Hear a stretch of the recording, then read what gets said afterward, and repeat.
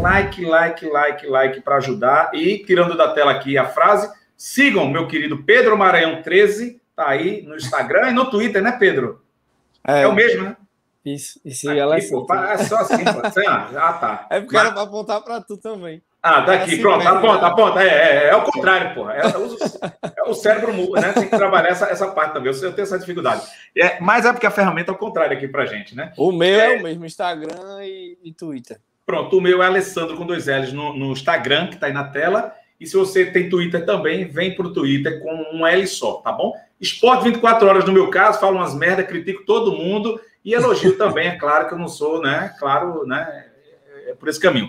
Pedrão, bora então para outra parte aqui do programa, bora falar é, do caso Hernanes. A gente entrou ontem, ontem ao vivo, né, para trazer para o torcedor. Não é só informação em si, é o que está ao redor dela, né? A composição, marketing, não é por que trazer, se vai trazer, se isso aí, de onde veio, enfim, todas as nuances que o esporte precisa, né? A gente está dizendo isso e você é, falou com muita propriedade ontem. É, o esporte está precisando de um jogador.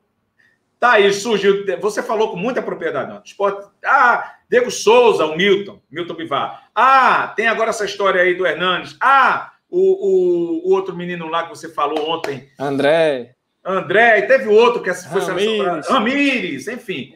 É por aí o caminho, né? É, Hernanes deve, né? Segundo informações, está é, é, do Godin, né? Lá do Diário de Pernambuco, confirma agora, volta à tona isso aí. Não é uma negociação fácil, eu acredito. E, uh, claro, para o Campeonato Brasileiro. O cara não tem chance lá de jogar no São Paulo. Uh, então, não vejo isso como uma, uma, uma. Claro, até porque Godin não, não, é de perua, mas eu não. Tá longe isso aí de, de ser uma notícia que ah, tá no ar, ou que Milton botou no ar. Não. O cara foi lá, pesquisou, já tinha essa notícia, não era perua antes. Volta a baila aqui agora, né, Pedrão? É, há uns meses atrás, né, eu, Antônio Gabriel da Rádio Jornal e o Bastidores do Esporte trouxemos né, essa situação do Hernandes. Milton Bivar garantiu, entendeu, que tinha interesse, que ia buscar negociações, que haveria reuniões, e o empresário, São Paulo e todo mundo negou. Dessa vez a, a informação ressurgiu com o nosso companheiro do, do Diário de Pernambuco, Diego Gondim, entendeu, que trouxe a informação de que o esporte voltou a ter interesse na contratação do Hernanes.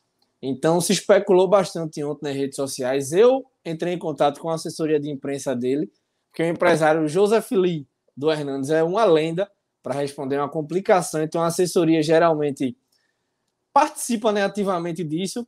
E eles me falaram que era uma informação sem fundamento, que o Hernandes e o empresário não foram consultados em momento nenhum, que não tinha nada. Entendeu? Mas é muito do que eu conversei com o Alessandro ontem. Pode até não ser o Hernandes. Pode até não ser o Hernandes, que hoje no São Paulo está de lado, está escanteado, praticamente não é utilizado.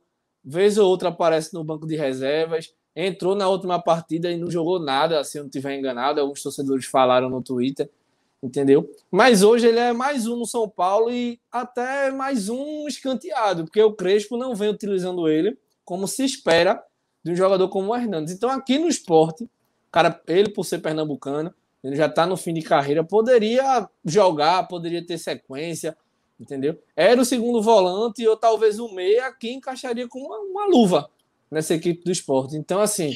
Experiente. Pode até não ser o Hernandes, mas a direção, desde antes das eleições, e eu trouxe essa informação aqui, pensa nesse tipo de nome até para reaproximar o torcedor. Nos últimos precisa, meses, quem foram precisa, os nomes precisa, especulados, como o Alessandro bem lembrou aí? Diego Souza, até semana passada, meu Deus, Diego Souza, talvez.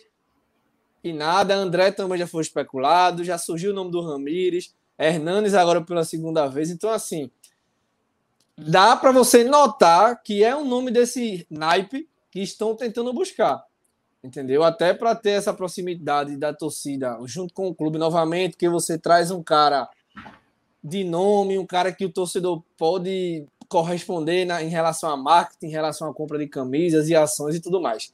Mas hoje, pelo que a gente sabe, a assessoria nega, o Diego trouxe a informação, então as primeiras informações são essas, né? assessoria negando, o Diego falando que voltou a negociar. Entendeu? Mas aí é que tá. É você ter o feeling da situação. Seja Hernandes ou não, a diretoria quer um nome desse naipe.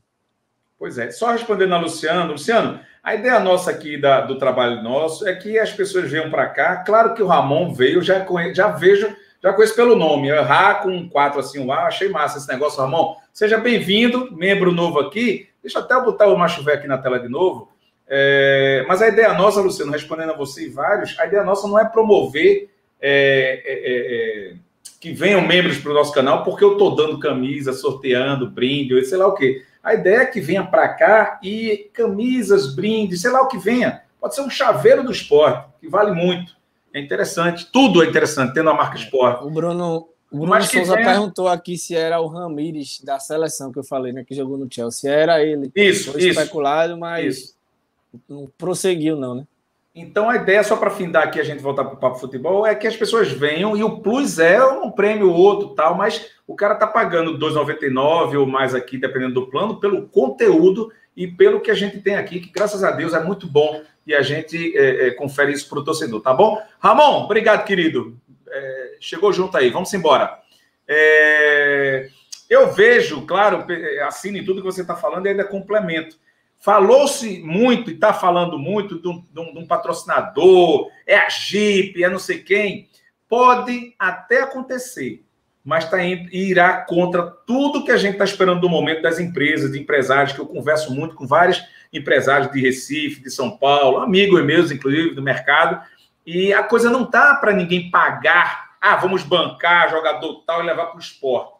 Não tá, não tá, não tá, a maré não tá para isso, não.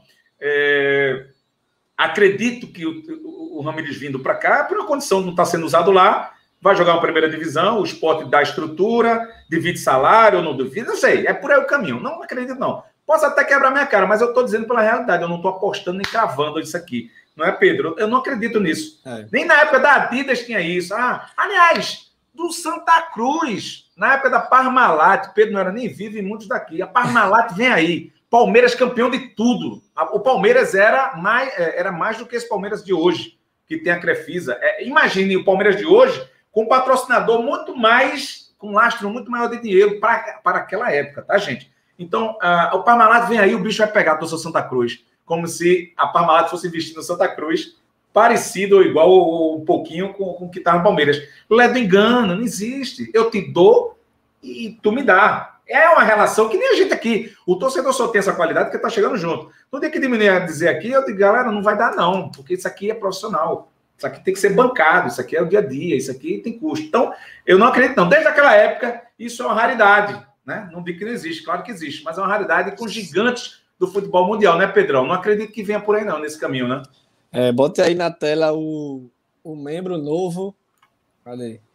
Tiago Melo, Tiago Melo. Eu falo, então, né? Eu também concordo. A gente sabe que o cenário do país hoje não pede esses investimentos assim loucos, né? De futebol, de você investir no cara esperando um retorno de torcida e tudo mais, porque várias empresas aí quebrando ou se segurando por conta da pandemia, entendeu? Então hoje eu não acho que vai brotar um patrocinador master no esporte, ele vai bancar, seja lá quem for. Pode ajudar de alguma forma? Pode, porque querendo não, quando um patrocinador chega, entra mais dinheiro, entendeu? Então sobra mais dinheiro para você fazer algumas situações, mas para o cara chegar e bancar ah, um Diego Souza, Anselmo, Guilherme, que o torcedor fica né, preso a esses nomes, entendeu? E às vezes esquece que já já o mercado europeu abre, entendeu? Transações internacionais podem acontecer, jogadores que estão embaixo na Europa podem começar a voltar para o Brasil, gente que você nem lembra entendeu? Podem desembarcar na ilha em algum momento aí. Então pode até nem ser Diego Souza, André, Guilherme, Anselmo, pode ser outro nome. Então não tem como prever, porque o torcedor fica preso até Anselmo, o cara se aposentar. Já, já digo de cara, já digo de cara, Anselmo vir para cá, vem agora nada. Tá ganhando nome. Nem ele, nem Guilherme. Guilherme já disse que não vem agora. Não vem, não, é muito, é muito dinheiro. Até 2022 ou é 23 com o time da Turquia também. É entendeu? A turma fica achando que ah, eu amo o esporte, eu vou pro lado é. para cada lá. Não é assim, né? É a vida do cara. É, é. curta, o cara é. tem que fazer o dinheiro dele. Nem só uhum. de amor se vive o mundo, né? Então, querendo ou não, dinheiro move. Principalmente um cara que tem 10 anos de carreira só, 15. Então ele tem que fazer o pé de meia dele claro. sim. Pode voltar? Pode. Uhum. Óbvio, pode voltar. Mas hoje eu acho muito difícil essas situações aí. Pois é. é. Arthur, Arthur do Big Brother, ele saiu, foi do Big Brother, ele chegou aqui como membro, foi? Tem outro, é? Não. Ah. Arthur, é Arthur, você que assistiu o Big Brother, é Arthur que está na tela? Brincadeira. É, o Arthur tá no paredão, mas não saiu ainda não. Ainda saiu não, né? Tiago, obrigado, querido. Brincadeira à parte aí. Parece, viu? Tá olhando a foto aqui, se bem que meu óculos, né? Não ajuda muito. Obrigadão aí, você mais um aqui na área, desfrutando, claro, e dando apoio para o nosso canal. Tá bom? Obrigadão, Arthur, é, Arthur. Tiago, Tiago Melo. Obrigadão, querido. É...